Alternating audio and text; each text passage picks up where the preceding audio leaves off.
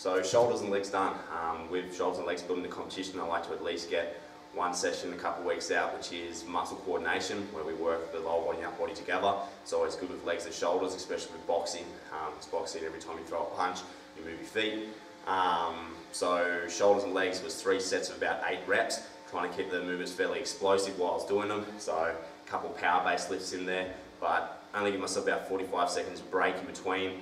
Uh, not too much break time, so it works on the fitness and muscular endurance as well at the same time. So that's another session down. Um, did my that was meant to be my Wednesday session. Did on a Tuesday because I'm going to Tough Mudder with some clients on the weekend. So slight change up. Got to adapt. Got to make it work. Um, and this afternoon sparring and um, and training with the elite guys. So see how that goes. Thanks.